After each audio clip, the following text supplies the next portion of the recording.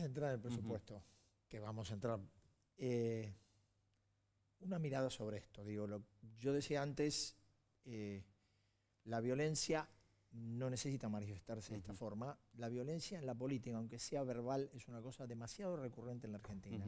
Y cuando se dan circunstancias especiales como estas o como fue la reforma previsional, vemos esto.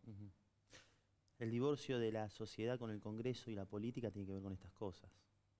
La verdad que no ayuda a la violencia para el que quiere expresarse legítimamente. Seguramente hay gente que quiere expresarse en contra de medidas y en contra de una situación económica, que me consta, que ha sido legítima, y la violencia, como dijo el senador Pichetto, que está organizada y que tiene que efectivamente alguna lógica que, que no respeta las reglas de la democracia.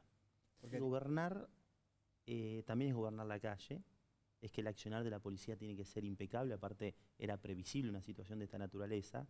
El senador Pichetto hacía mención a alguna situación en torno al Congreso, eh, y hay una responsabilidad en ese sentido de las autoridades policiales. Independientemente de eso, eh, se repudia cualquier acto de violencia. Y el segundo punto, que lo dijimos públicamente y lo han dicho compañeros de mi bancada, de, nuestro bloque, eh, creo que hay que respetar las normas de la democracia, las normas de la Constitución. Son 129 para el quórum, son 129. Hay que sentarse, dar el debate. Yo no estoy de acuerdo con ni el rumbo económico, ni la propuesta Ahora vamos A entrar en eso.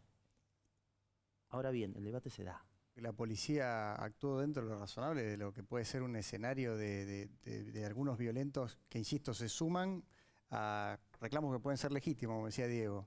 Eh, puede haber protestas contra una ley o a favor de una ley. Eh, lo que está claro que había un grupo de violentos organizados que fueron a, eso y que había un grupo de diputados que también fueron a provocar a la policía, que también fueron, entraron al recinto de manera violenta con el intento de suspender la, la sesión como ocurrió en diciembre, lo cual ya muestra un modus operandi, digamos, de, este tipo de avasallamiento institucional, por el cual hay una denuncia que se hizo el año pasado en diciembre contra algunos diputados que impidieron sesionar, aquella vez que tuvimos que suspender. Eh, de modo tal que yo, ah, digamos, primera reflexión, la información la teníamos, eh, sabíamos que a pesar de que no había una bandera unificadora, en este presupuesto, más allá del eslogan vacío de que es el presupuesto del FMI, mm. eh, había una vocación de, generar esto. Hubo evidentemente un intento de hacer eh, caer la sesión, esto fue claro, y después cuando no pudieron, siguió tranquilamente y desaparecieron casi como si cumplieran horario todos los violentos de la calle.